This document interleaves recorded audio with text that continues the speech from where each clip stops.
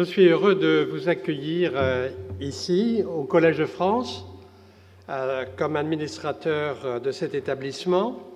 Vous êtes dans l'amphithéâtre Marguerite de Navarre, qui était la sœur du roi François Ier, et elle est en grande partie, avec Guillaume Budet, l'inspiratrice de l'idée de création d'un collège qui s'intitulait à l'époque le Collège royal. L'idée était finalement d'enseigner des matières euh, nouvelles que refusait a priori d'enseigner à la Sorbonne, qui est en face du Collège de France, et notamment l'hébreu, le grec, qui était la, voie de compréhension des Écritures saintes, et en même temps euh, les mathématiques, et très vite après euh, l'arabe, entre autres. Donc le Collège de France a gardé cette mission initiale, à savoir de donner un enseignement novateur, régulièrement renouvelé chaque année, dans des disciplines euh, très diverses, puisque sur les 52 chaires annuelles, nous balayons les disciplines qui vont euh, des mathématiques jusqu'aux sciences humaines et sociales, philosophie, sociologie et autres. Nous avons aussi des chaires annuelles. Euh, nous avions une chaire qui s'intitulait chaire internationale mais qui n'était pas ciblé sur un domaine particulier. Et avec euh, Philippe Kouriski et mes collègues, nous avons pensé qu'il serait intéressant de développer un enseignement centré sur un grand problème actuel, mondial, à savoir le savoir contre la pauvreté. Nous sommes tournés vers l'Agence française de développement, et là je dois dire que nous avons eu un soutien extrêmement fort, ce qui nous a permis de donner les moyens de développer cette chaire euh, depuis 2009. Euh, Et depuis 2009, nous avons un enseignement, je dirais, de très grande qualité, avec au départ euh, Esther Duflo, qui a enseigné sur expérience, science et lutte contre la pauvreté. Expérience, science et lutte contre la pauvreté. Vous voyez les mots clés de cette chaire qui apparaissent dès 2009, dès son début, dès sa création. Peter Piot en 2010 a enseigné sur l'épidémie du sida et la mondialisation des risques. Ismail Serageldine, en 2011, a enseigné sur la faim et la sécurité alimentaire dans le monde. Et ici même, il a donné un grand symposium international sur mobiliser le savoir euh, pour éradiquer la faim. Et cette année donc, nous avons la chance et le privilège d'avoir Manuela Carnero da Cunha, euh, qui est parmi nous, euh, titulaire de cette chaire euh, qu'elle a intitulée Les savoirs autochtones. Et aujourd'hui, nous avons donc euh, ce colloque qui est consacré à l'hommage à la pensée sauvage, nature et apport des savoirs autochtones.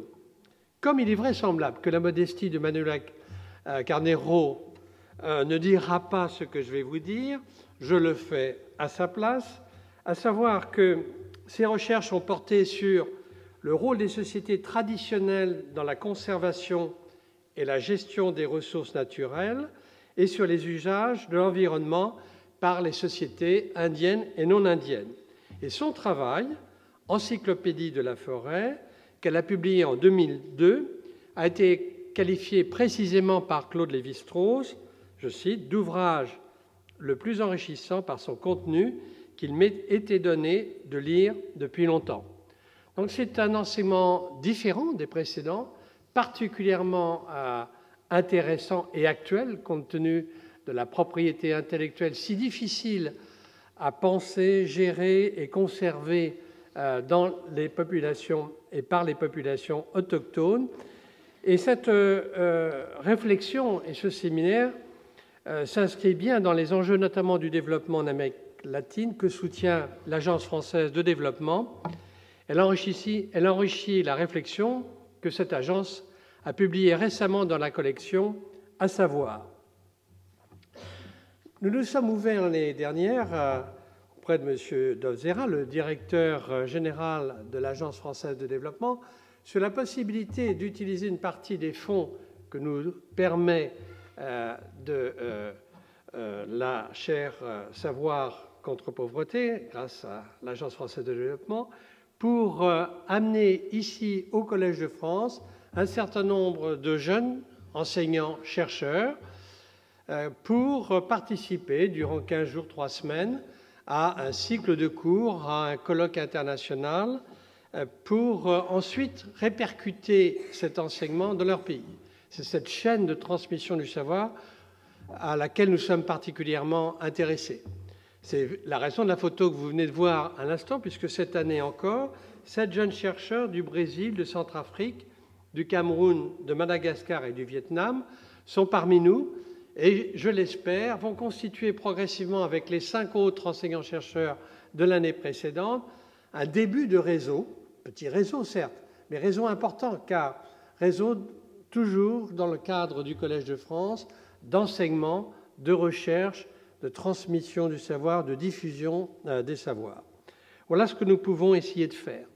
Qui plus est, cette chaire a été encore euh, initiatrice d'une initiative que je salue vraiment profondément en remerciant l'Agence universitaire de francophonie, car nous avons développé euh, des vidéoconférences. La première d'entre elles a eu lieu précisément avec euh, Esther Duflo, qui a communiqué avec cinq ou six campus numériques de cette agence, euh, euh, avec les enseignants-chercheurs de différents pays, pour discuter de certains des éléments de sa leçon inaugurale. Et tel a été le cas, je crois, aussi l'année dernière, avec vous, M. Dovzera, et Ismail Seragaldin, avec nombre de ces campus numériques. Donc vous voyez, nous sommes dans une tradition que nous perpétuons, euh, celle du Collège de France des années 1530, que nous adaptons naturellement avec les technologies actuelles qui nous permettent d'amplifier considérablement notre diffusion des savoirs. Nous savons que ce colloque même, qui est enregistré et qui sera diffusé sur notre site, sera regardé, consulté, étudié par nombre d'internautes. Nous avons calculé euh, récemment qu'il y avait pratiquement une amplification de 100 fois en termes d'audience de nos cours et de nos enseignements euh, grâce à la diffusion euh, de nos cours, de nos enseignements et de nos colloques par l'Internet. Les cours sont traduits en anglais, en voix off, ce qui permet en même temps à une audience anglophone de pouvoir suivre notre enseignement. Voilà, je vous souhaite euh, un excellent euh, colloque euh, et je passe tout de suite la parole à M. Dovzera.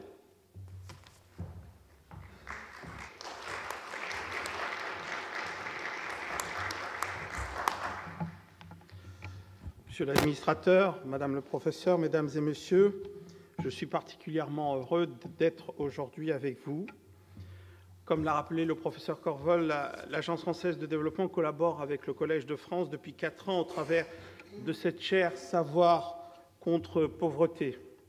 Après Esther Duflo, Peter Piotr et Ismaël Seregaldi, nous sommes heureux d'accueillir cette année Madame Manuela Carnero d'Acuna, qui nous invite à appréhender notre activité de développeur. Et oui, nous sommes des développeurs au travers d'un prisme anthropologique et vous verrez dans quelques instants, avec certains exemples que je vais vous donner, à quel point euh, ce travail de recherche est, important pour nous, praticiens du, développement.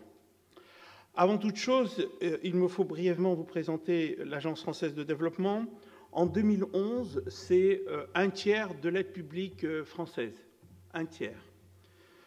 Et c'est deux tiers de l'aide bilatérale. Notre contribution à l'effort français de solidarité internationale s'est considérablement accrue euh, ces euh, dernières années, permettant ainsi à notre pays de rester euh, le quatrième donateur au niveau mondial. L'accroissement de nos interventions s'est appuyé sur des extensions sectorielles, des extensions géographiques qui font qu'aujourd'hui, à quelques pays d'Amérique latine, nous sommes présents partout dans le monde, y compris dans les pays émergents, et je ne désespère pas qu'incessamment sous peu, nous soyons autorisés à intervenir pratiquement dans toute l'Amérique latine et l'Amérique centrale. Aujourd'hui, la moitié de nos financements, et ce point, est important, vous allez le comprendre au fil de mon dégagement, la moitié de nos financements transitent par d'autres canaux que les États, c'est-à-dire par les collectivités locales, les ONG, les entreprises publiques ou privées, et je voudrais insister euh, sur, sur ce point euh, en particulier. Comme vous pouvez l'imaginer, nous ne pouvons pas ne pas travailler avec les États, les administrations centrales. Mais comme vous pouvez l'imaginer aussi tout aisément, nous sommes régulièrement confrontés à des problèmes de gouvernance. Et nous ne sommes pas toujours assurés que ce travail avec ces États et ces administrations centrales permette un véritable développement économique, un véritable développement culturel et social.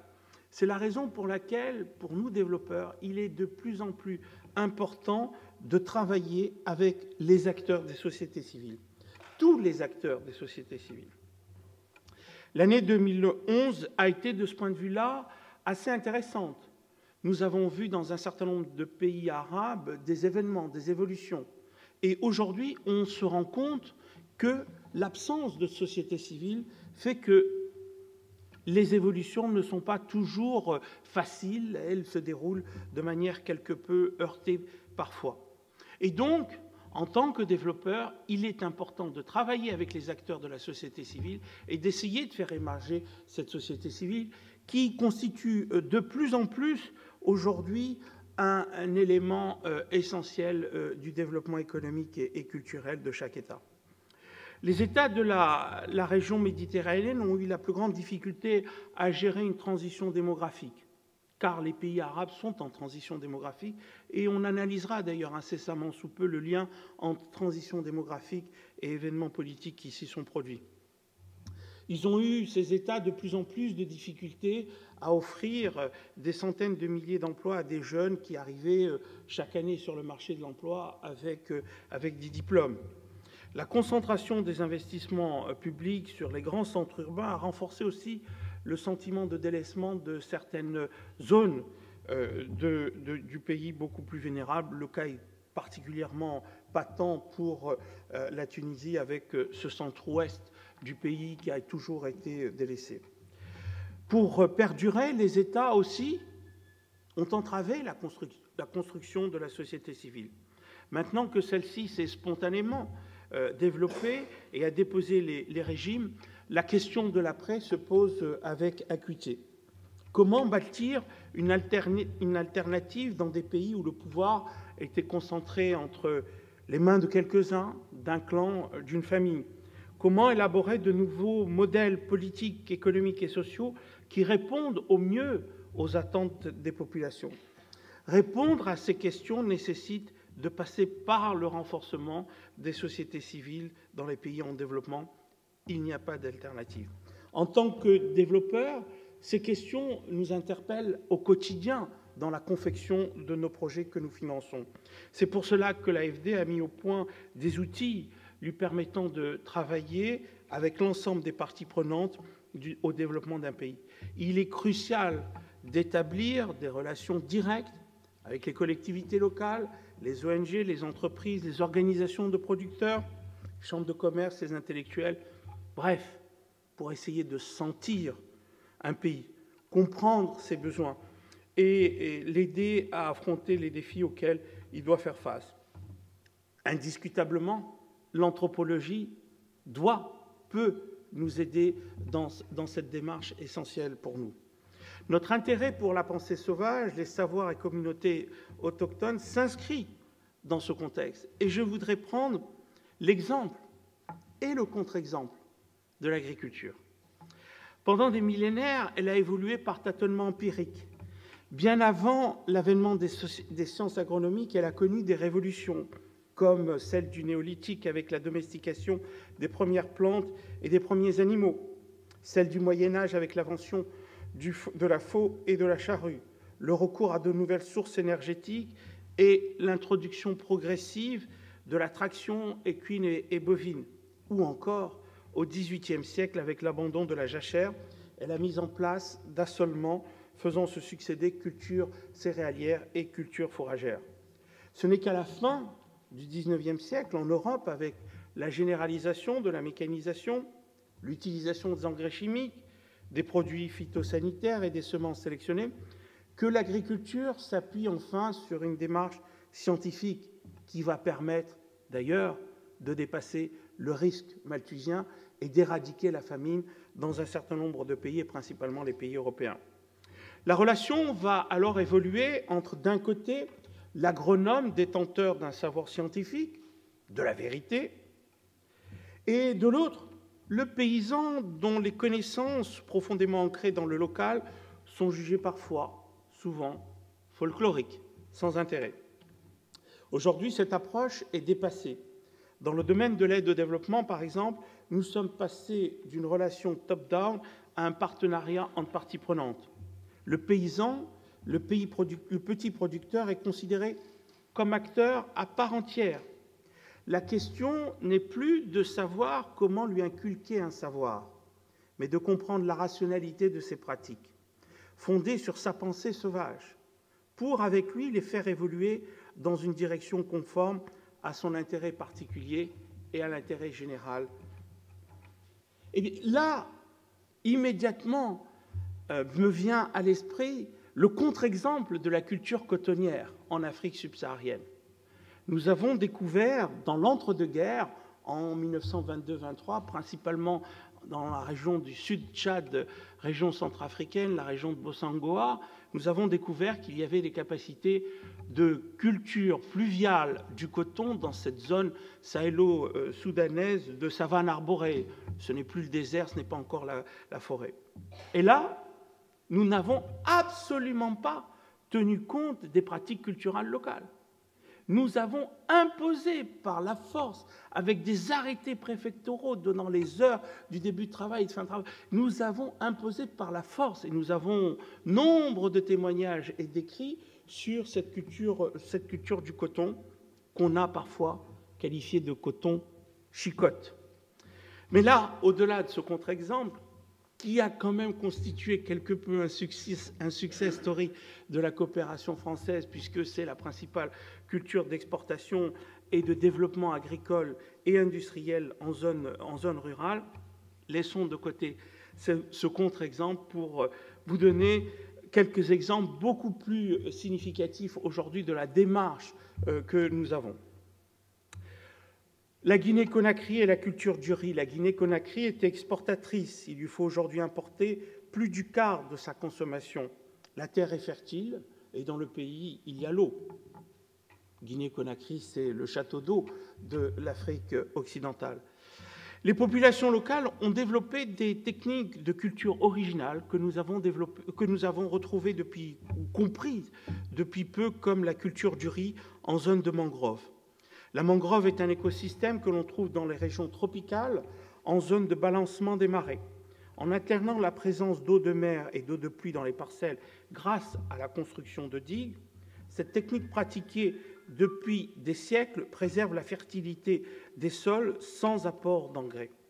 En saison sèche, l'eau de mer maintient l'acidité des sols à un niveau adéquat et assure le transfert de manière organique de limon depuis les mangroves en En saison de pluie, l'eau douce lessive le sel et rend possible la pousse de riz.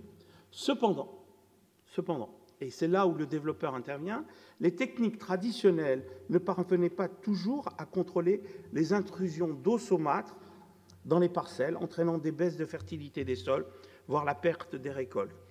En appuyant les organisations de producteurs, et si vous avez l'occasion d'aller en Guinée-Conakry, je vous invite à faire le détour pour voir quelque chose d'exceptionnel, d'extraordinaire, eh bien, nous avons, avec des techniques toutes simples de gestion euh, des digues et de gestion des eaux euh, salées ou euh, des eaux naturelles, nous avons permis un triplement des rendements sur 5000 hectares. C'est, je dirais, le, le nouveau success story de l'Agence française de développement. Cette valorisation de la science du concret, de la science du concret, quelle belle expression de Claude Lévi-Strauss, constitue aujourd'hui un vecteur efficace de préservation des modes de vie traditionnels. Autre exemple, au Mali, les collections publiques recensant 349 variétés de sorgho du pays ont par deux fois été perdues. C'est parce que les paysans conservent par devant eux ou alors dans des échanges avec d'autres paysans ces, ces, espèces. Et là encore, nous sommes intervenus pour faire en sorte qu'elles puissent être préservées un très très bel exemple de conservation on-farm. Le maintien de cette biodiversité au Mali est indispensable pour assurer que la production de sorgho perdurera malgré le changement des conditions climatiques. Toujours au Mali, nous avons promu la, nouvelles espèces, la création de nouvelles espèces.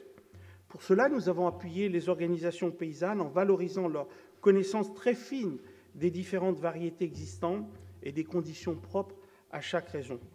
Le processus reposant sur des connaissances des communautés locales a permis concrètement la création de variétés réellement adaptées aux besoins des paysans qui les ont rapidement adoptées. Vous voyez quelle différence entre l'approche que nos prédécesseurs ont utilisée pour imposer la culture du coton et ces exemples en Guinée-Conakry ou au Mali, où nous sommes à l'écoute des producteurs et des paysans locaux pour essayer de les aider ou valoriser au mieux leurs connaissances. C'est le cas aussi du projet Jardin d'Éthiopie. De par sa situation géographique, ce pays situé sur un plateau entouré de désert possède un taux d'endémisme exceptionnel, notamment en matière végétale. Le café, par exemple, natif d'Éthiopie, de nombreuses essences végétales subsistent encore aujourd'hui dans les jardins des populations rurales. Nous avons soutenu ces jardins pour qu'ils puissent permettre, permettre, je dirais, à ces cultures de, de perdurer.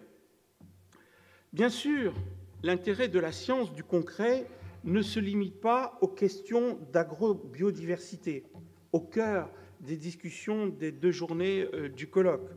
Elle constitue un terreau fertile dans bien d'autres domaines où nous, bailleurs, intervenons. Je ne prendrai qu'un exemple tiré de notre expérience. Vous savez, en tant que développeur, ce sont les exemples qui parlent. Après, la philosophie et la théorisation, la conceptualisation arrivent et ce sont des professeurs comme Madame Dacuna qui nous permettent de conceptualiser. Mais à la base, nous sommes des, praticiens du développement. Eh bien, euh, dans le Pacifique, nous soutenons la création de gestion d'aires marines protégées. Ce concept de zone protégée existe dans la tradition locale, bien que sous une forme différente. Certaines zones sont frappées de tabous lorsque les ressources naturelles, notamment halieutiques, atteignent des niveaux jugés insuffisants. L'utilisation des récifs coralliens est alors suspendue. L'agence a soutenu une initiative régionale de structuration des aires marines dont grande partie a été identifiée avec les communautés concernées. Celles-ci s'en ensuite confier la gestion. Là encore, le processus participatif, l'association des communautés locales assure une appropriation optimale euh, du projet. Vous voyez, avec ces exemples, comment il est essentiel pour nous de travailler avec les populations, leurs associations, leurs organisations, leurs représentants, de façon à gérer au mieux le potentiel naturel et faire en sorte qu'il y ait une véritable société civile. Au-delà de ces aspects opérationnels, la question de notre relation en tant que développeur aux communautés locales revêt, comme vous pouvez l'imaginer, une, formidable dimension éthique. Je ne citerai que deux exemples. Le respect des droits de l'homme, de tous les hommes et de toutes les femmes, est une composante forte de notre identité. Juste pour mémoire, nous avons été créés il y a 70 ans, le 2 décembre 1941, par le général de Gaulle à Londres. Et nous étions à l'époque la caisse centrale de la France libre. Donc dans la culture d'entreprise, l'Agence française de développement, il y a, je dirais, un esprit de résistance. L'AFD est signataire du pacte mondial des Nations Unies qui défend dix principes sur les questions de normes de travail, d'environnement, de lutte contre la corruption. Tout cela, pour nous, est un élément essentiel de nos interventions. Voilà. Nous avons, je terminerai par une considération générale, nous avons encore beaucoup à apprendre des savoirs autochtones pour réussir notre mission de développement, pour faire en sorte que le milliard d'habitants sur notre planète qui ne mangent pas à sa faim puissent enfin avoir la satisfaction de ce besoin alimentaire. Au-delà des success stories, il y a des expériences plus mitigées. Je vous ai cité le cas du coton, qui sont aussi riches en enseignement. Récemment, nous avons évalué 20 ans d'intervention dans la forêt du bassin du Congo. L'implication des Indiens d'Amazonie dans le développement de la forêt constitue certainement un exemple à suivre. Et ce colloque qui certainement sera très riche d'enseignements compte tenu de la qualité des panélistes, nous donnera aussi beaucoup d'enseignements pour nos pratiques et interventions futures. Un grand merci pour votre attention.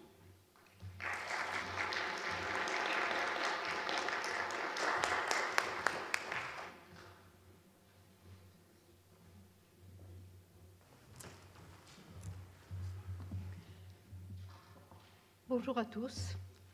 Et je voudrais remercier tout particulièrement euh, le Collège de France et l'Agence française de, développement d'avoir permis euh, ce colloque qui, euh, je crois, répond à des questions que beaucoup de gens se posent. Et je suis très heureuse de savoir que l'Agence française de développement est en syntonie avec ces préoccupations.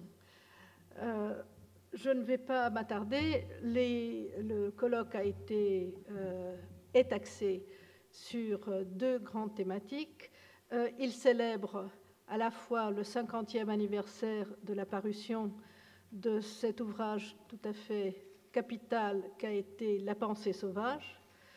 et il célèbre aussi les 20 ans de la Convention sur la diversité biologique euh, qui, euh, dont l'anniversaire va être célébré en juin euh, à Rio. et qui a une importance directe pour, notre thème, puisque c'est la première fois qu'on parle dans, un,